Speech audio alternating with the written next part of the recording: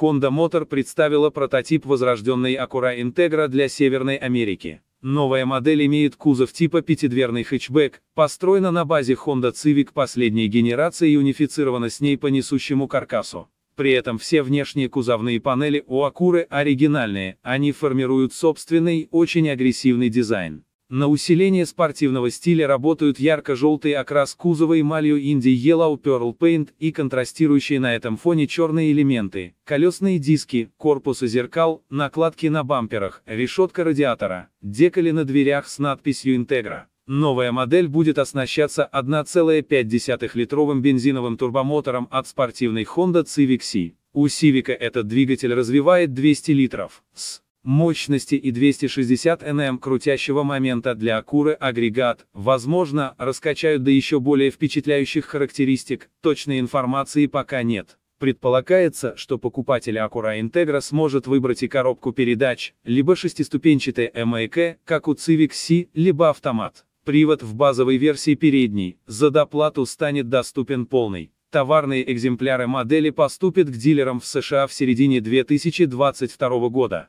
Напомним, модели под именем Integra были в гаммах Honda и Acura в 1985-2006 годах. Этим названием брендировали спортивные и люксовые модификации Civic. После 16-летнего перерыва Honda решила возродить наименование. Ранее в ноябре была представлена Honda Integra для рынка Китая, в Поднебесной это слегка перелицованная версия хэтчбека Civic.